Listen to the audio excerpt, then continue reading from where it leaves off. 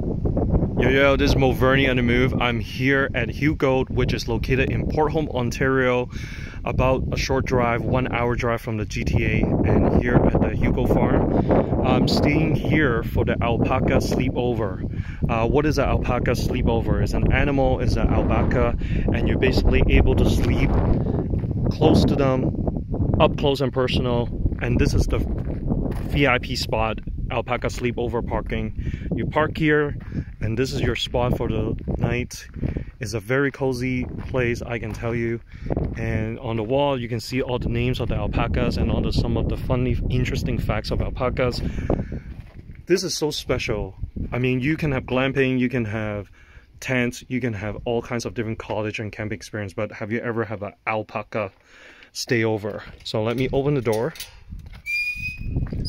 So this is where the alpacas lives. They eat, they pee, they shit, they basically do everything. So as you can see, the alpacas are over there hanging over on the other side, but they can actually come over into this area space that they, if, if you're not really scared of them, you can actually, they can chill or you can open the door and they will poke their head in there. Now that's my belonging. And then there's this uh, cozy uh, warmer here outdoors. You have a table. You can have two chairs checking out the alpaca from up close. And of course, there's a fence, so alpaca are staying inside.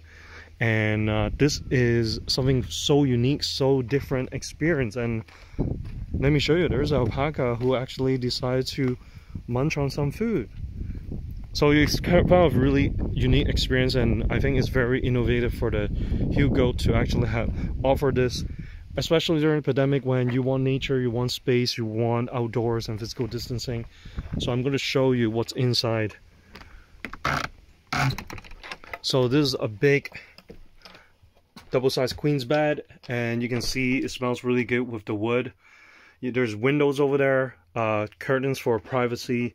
There's also the mosquito tents to kind of making sure you know you don't get mosquito bites and there's windows over there you can see your vehicle there's a chair here, there's a chair here, there's a table set here. And I got some beer so I can put it in the fridge. There's some games, there's yoga mat.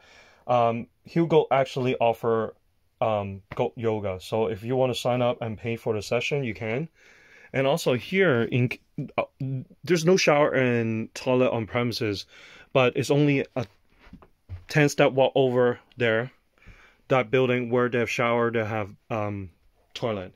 Now, if in the middle of the night you don't want to go out, they actually have a toilet potty there. There's a garbage and there's the uh, toilet potty there they can use.